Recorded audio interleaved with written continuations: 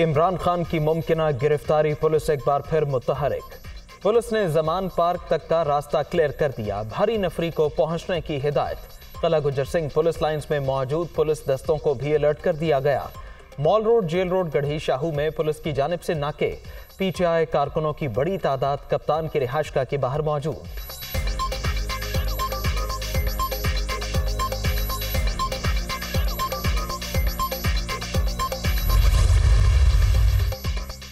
पाकिस्तान के साथ सिक्योरिटी ताल्लुकात हमारे लिए अहम है। पाकिस्तान काबिल एतमाद शराकतदार है। जमहूरी और खुशहाल पाकिस्तान हमारे मफाद में है। पाकिस्तान में किसी सियासी रहनुमा और जमात को दूसरे पर फोकियत नहीं देते।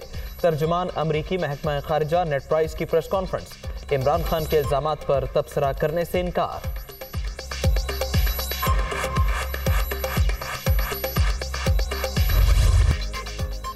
रात गए, पेट्रोल बम चल गया। बाईस रुपए बीस पैसे फ़ी लीटर महँगा। पेट्रोल की नई कीमत दो सौ बहत्तर रुपए लीटर मुकर हाई स्पीड डीजल की कीमत सत्रह रुपए बीस पैसे बढ़ा दी गई। फ़ी लीटर दो सौ अस्सी रुपए का हो गया। मट्टी के तेल के नरखों में बारह रुपए नब्बे पैसे इजाफा। नई कीमत दो सौ दो रुपए तिहत्तर पैसे हो गई।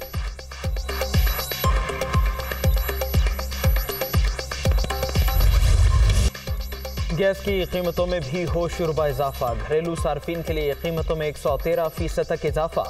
सार्फिन बारह मुख्तलिफ़ प्रोटेक्टेड और नॉन प्रोटेक्टेड कैटेगरीज में तकसीम। कमर्शल सार्फिन के लिए गैस की कीमतों में अट्ठाईस आशारिया छः फ़ीसद।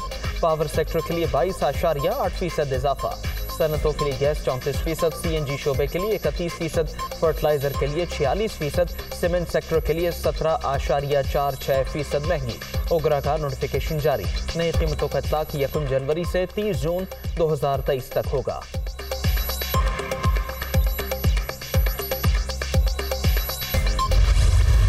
ने 170 अरब रुपए के इजाफी टैक्स लगाने की मंजूरी दी है। अब लग्जरी आइटम पर जीएसटी की शरह को 17 फ़ीसद से बढ़ाकर उस पर 25 फ़ीसद की बुलंद सतह पर ले जाने का फैसला किया है। शादी की तकरीबात के बिलों पर 10 फ़ीसद की शरह से withholding adjustable advance income tax नाफिज किया जाएगा। सिगरेट एरेटेड और शुगरी जो ड्रिंक्स हैं, इनके ऊपर एफ़ जो फेडरल एक्साइज ड्यूटी की शरह में इजाफा तजवीज़ किया जा रहा है। सीमेंट पर जो फेडरल एक्साइज ड्यूटी डेढ़ रुपये फ़ी किलोग्राम थी, उसको बढ़ाकर दो रुपये फ़ी किलोग्राम करने की तजवीज़ है। महँगाई की यलगार बिल्कुल तैयार। मिनी बजट आ गया फाइनेंस तरमीमी बिल कौमी असम्बली में पेश। 170 अरब रुपए का रेवेन्यू इकट्ठा करने का हदफ। नंबर वन लग्जरी आइटम्स पर टैक्स की शरह 25 फ़ीसद होगी। मुख्तलिफ़ अशिया पर जीएसटी की शरह 17 से बढ़ाकर 18 फ़ीसद करने का ऐलान। शादी हॉल्स और होटल्स पर एडवांस टैक्स की तजवीज़। कमर्शियल लॉन्स, मार्किज और क्लब भी कैटेगरी में शामिल। फजाई टिकट्स और मशरूबात की रिटेल पर भी 10 फ़ीसद टैक्स लगेगा। सीमेंट पर फ़ी किलो टैक्स में 50 पैसे इजाफा तजवीज़। गंदम, चावल, दूध, दालों, मुर्गी और अंडों पर सेल्स टैक्स की शरह सत्रह फ़ीसद बरकरार।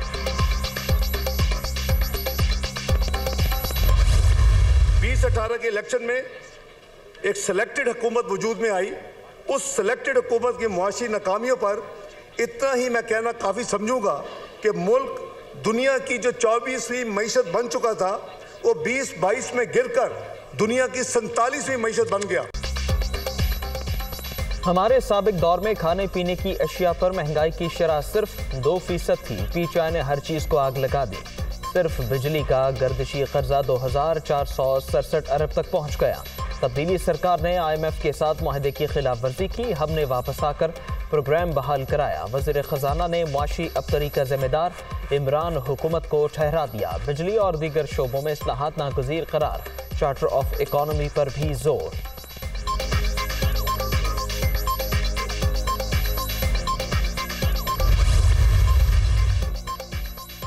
मिनी बजट सेनेट में भी पेश पीचाई और दीगर अपोजिशन अरकान का एहतजाज। चेयरमैन डाइस का घेराव, बिल की कॉपियाँ फाड़ दी।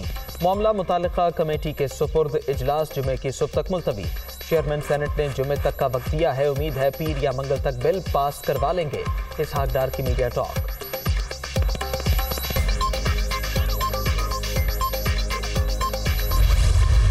पाकिस्तान वो मुल्क है जहाँ पे टैक्सेस टैक्सेस हैं। कोई बेनिफिट्स नहीं है। गरीब के लिए खाली नारा मत लगाओ। गरीब के लिए सोचो भी।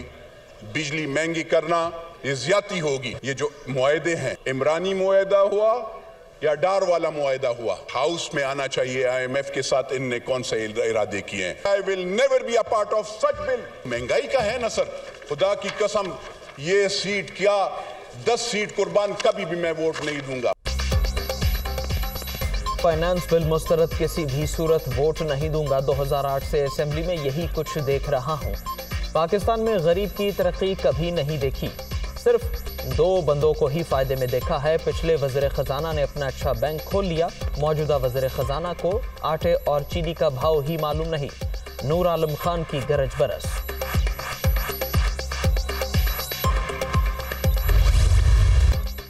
मिनी बजट से पहले ही टैक्सों की भरमार तमाम अशिया पर सेल्स टैक्स की शराह सत्रह से बढ़ाकर अठारह फ़ीसद कर दी गई।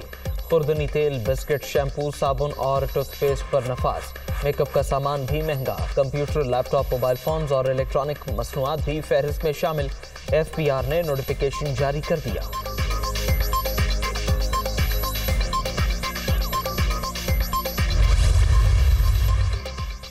जीएसटी बढ़ने के बाद एलपीजी की कीमतों में तीन रुपए की पैसे फ़ी किलो इजाफा, नई कीमत दो सौ छियासठ रुपए मुकर घरेलू सिलेंडर तीन हज़ार एक सौ इकतालीस रुपए का हो गया।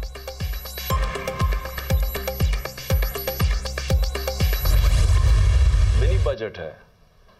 इससे एक मजीद और महँगाई का बोझ पड़ने लगा। हम अब वो श्रीलंका की स्टेज के ऊपर पहुँच गए हैं, यानी वो डिफ़ॉल्ट के उतना करीब पहुँच गया। जो आज हालात हैं, इसके अंदर अगर हम ये समझ रहे हैं कि आईएमएफ के हम ये बातचीत मान जाएँगे, उससे मुल्क ठीक हो जाएगा, इस खुशफहमी में कोई ना रहे।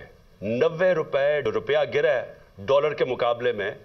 अभी इसकी मजीद महँगाई आनी है। कौम के ऊपर सारा बोझ खुद अपनी करप्शन के केसेस माफ़ और कोई आगे रास्ता भी नहीं है रोड मैप भी नहीं है। ये अगर समझ रहे हैं कि इससे आप आईएमएफ के डॉलर्स आ जाएँगे तो वो ये ऐसे समझें कि ये कैंसर का इलाज डिस्प्लिन से हो रहा है। मुल्क के मसलों का हल सिर्फ़ एक है, वो इलेक्शंस करवाएँ। मिनी बजट से महँगाई का तूफ़ान आएगा। पाकिस्तान तेज़ी से दलदल में फंस रहा है। डिफ़ॉल्ट रिस्क श्रीलंका की सतह पर पहुँच गया। कैंसर का इलाज डिस्प्रीन से किया जा रहा है। आईएमएफ से माहदे के बाद भी मुल्क ठीक नहीं होगा। कौम की दौलत कम हो गई मनी लॉन्ड्रिंग करने वालों के एहसास बढ़ गए। बढ़के लगाने वालों ने अपने केसेस माफ़ कराने के सिवा कुछ नहीं किया। डॉलर नब्बे रुपए महँगा हो गया, इनके पास कोई रोड मैप नहीं है।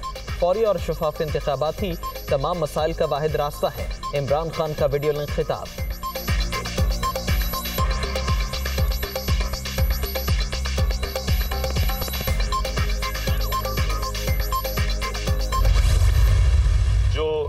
है वो 380 अरब था। आज 600 अरब के जी 600 अरब के जी 600 अरब के जी पहुँच गया। घी है वो 380 अरब था। 600 अरब के जी पहुँच गया।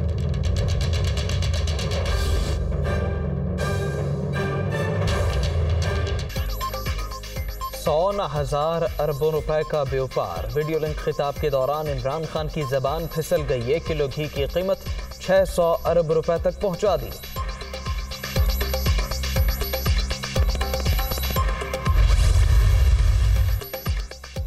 शिकस्त से खौफजदा हुकूमत आइन की खुलम खुला खिलाफ वर्जियों पर उतराई। ये मुझे ना अहल करवाना चाहते हैं। गिरफ्तारियाँ शुरू हुई तो सबसे पहले खुद को पेश करूँगा। जनरल बाजवा ने मान लिया कि रजीम तब्दील की कोई आर्मी चीफ अपने वजर अजम का फ़ोन कैसे टैप कर सकता है? ऐसा करना जुर्म है। सौ फ़ीसद सीखा के किसी फौजी सरबरा की मुलाजमत में तोसी नहीं होनी चाहिए। सदर ममलकत फाइनेंस बिल में रुकावट नहीं बनेंगे। तहरीक इंसाफ सेनेट में मिनी बजट की भरपूर मुखालफत करेगी। इमरान खान की गैर मुल्की सहाफ़ियों से गुफ्तु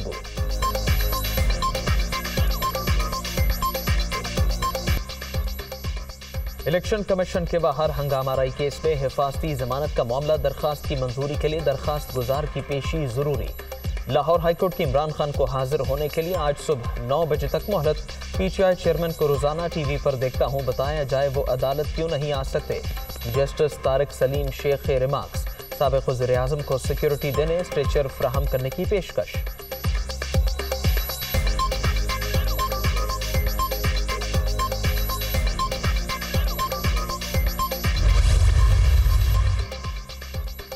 नैब तरामीम ने जेर अल्तवा केसेस का दरवाज़ा बंद कर दिया। अदालतों से सैकड़ों मुकदमात वापस हो रहे हैं। आठ माह गुजर चुके, तरामीम के बाकायदा नफाज या केसों की मुंतकली का तरीक़ाकार ही नहीं बताया जा सका। वाज तौर पर कह चुके हैं कि अदलिया हुकूमत करना चाहती है, ना ही करेगी। इमरान खान की दरखास्त पर समात के दौरान चीफ जस्टिस के रिमार्क्स।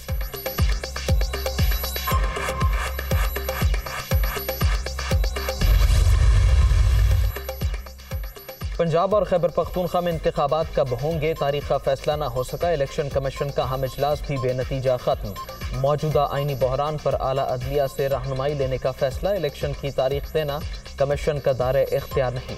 ई सी पी हुकाम का मौकफ।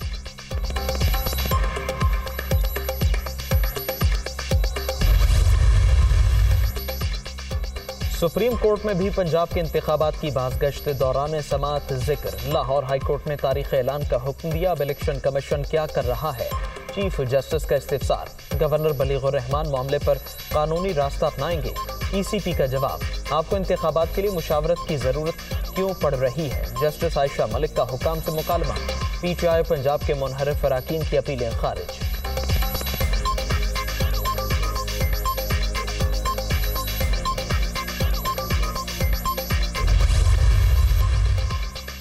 गवर्नर पंजाब ने असम्बली की तहलील पर दस्तखत नहीं किए तो निगरान हुकूमत के लिए वज़ीर अला और अपोजिशन लीडर को खत किस इख्तियार के तहत भिजवाया? स्पीकर को पार्लिमानी कमेटी बनाने का क्यों कहा गया? बलीगुर रहमान ने निगरान हुकूमत से हलफ क्यों लिया? चौधरी परवेज लाही के सवाल